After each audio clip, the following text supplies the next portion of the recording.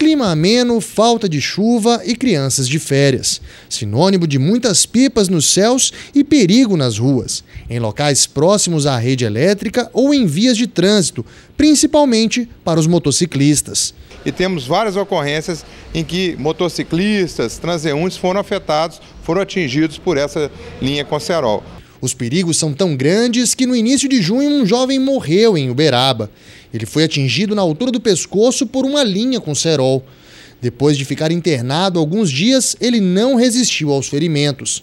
O coronel Felipe Aidar, do Corpo de Bombeiros, explica que nesses casos, quem estava soltando a pipa ou os responsáveis, caso fosse o menor, podem responder criminalmente.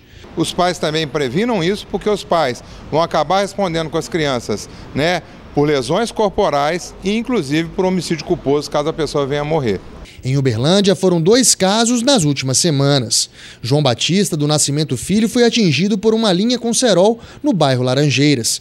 Ele passou por cirurgia, precisou fazer uma traqueostomia e continua internado no Hospital de Clínicas. Já no bairro Guarani, um senhor de 65 anos, Manuel Andrade de Araújo, também foi atingido no pescoço. Depois de passar por cirurgia no Hospital de Clínicas da UFO, ele recebeu alta e já se recupera. Seu Manuel lembra o momento do acidente e o susto que levou.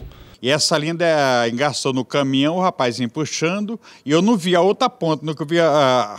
Aí eu fui ultrapassar o caminhão, aí foi a hora que a linha me engastou no pescoço, puxou para debaixo do caminhão e, e eu forcei para o outro lado para não realmente não ir debaixo do caminhão.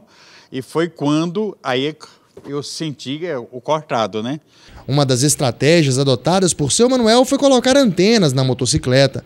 Essa é apenas uma das medidas que devem ser adotadas pelos motociclistas. Coloque uma vareta como essa, porque a linha vai pegar aqui e ela vai acabar sendo rompida, né, trazendo uma segurança maior para o motociclista.